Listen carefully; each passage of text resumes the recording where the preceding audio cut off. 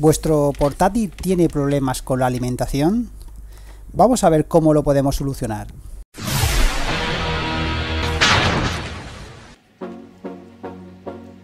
Como este equipo me lo han entregado sin algunos tornillos, marcaré los que lleva para dejarlos en su ubicación.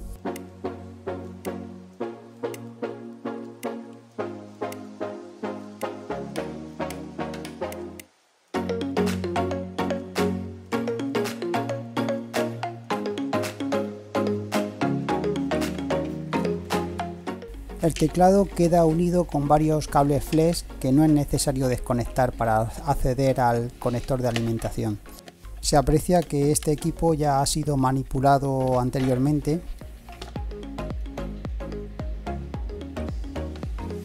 Este conector tiene muy mala pinta.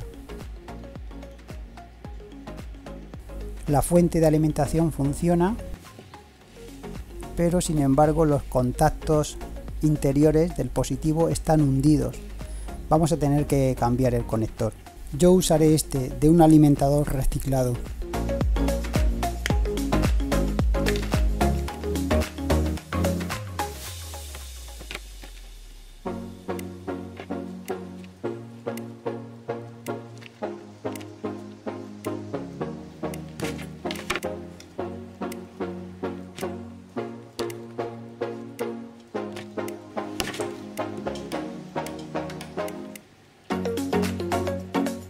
Este hilo blanco es el positivo y la malla el negativo.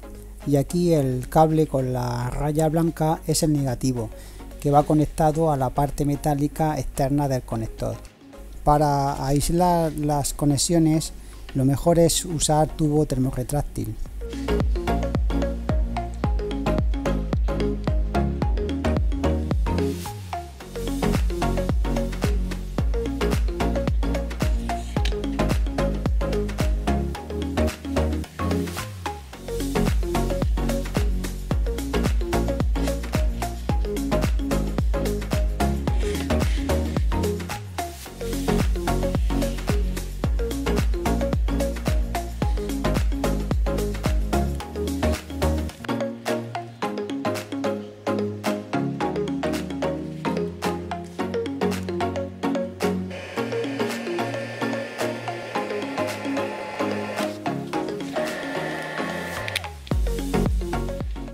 En conexiones como esta que se van a mover mucho, a mí me gusta aplicarle un extra de silicona.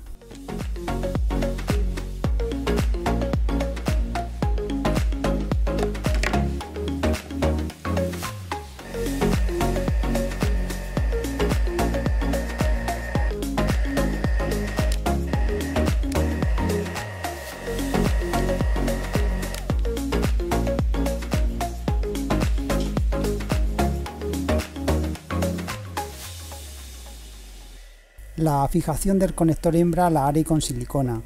Para ello calentaré el conector y también la zona en la que va a ir colocado.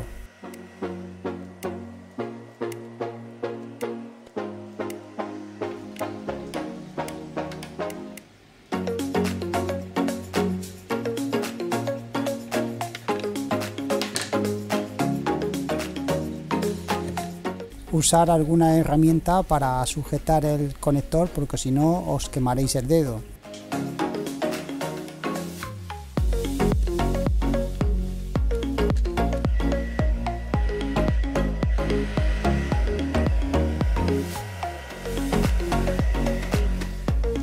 Bueno, pues ya lo que nos queda es montarlo y probarlo.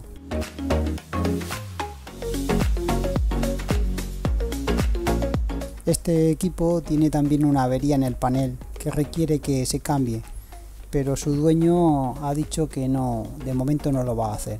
Así que damos por finalizado este trabajo. Hasta pronto, un saludo.